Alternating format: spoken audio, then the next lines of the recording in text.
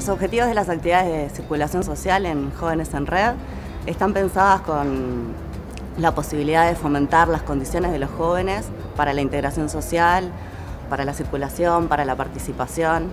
En ese sentido, los equipos lo que hacen es poder diseñar actividades de acorde a los intereses de los jóvenes.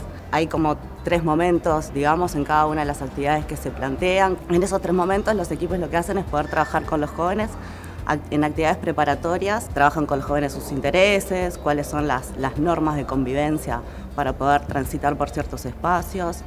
Luego en el desarrollo de las actividades este, también se generan propuestas recreativas, lúdicas, que permitan tener nuevas experiencias y generar nuevos aprendizajes en los jóvenes, que de alguna forma eh, funcionen de capitalizadores para próximas experiencias en sus trayectorias vitales.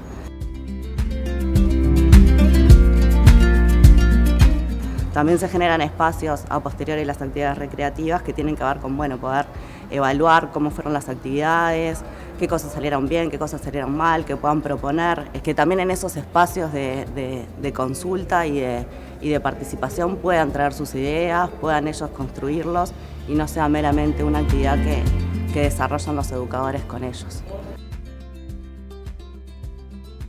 Este tipo de actividades de circulación dejan los y las jóvenes nuevas experiencias eh, de integración, deja la posibilidad de, verse transitando nuevos espacios, eh, de poder compartir con otros, de poder manejarse también con autonomía, de que sus, su palabra este, y sus intereses sean escuchados y tomados en cuenta. Es una experiencia que creo que es de disfrute y de mucho aprendizaje. Creo que funciona como un motor para seguir.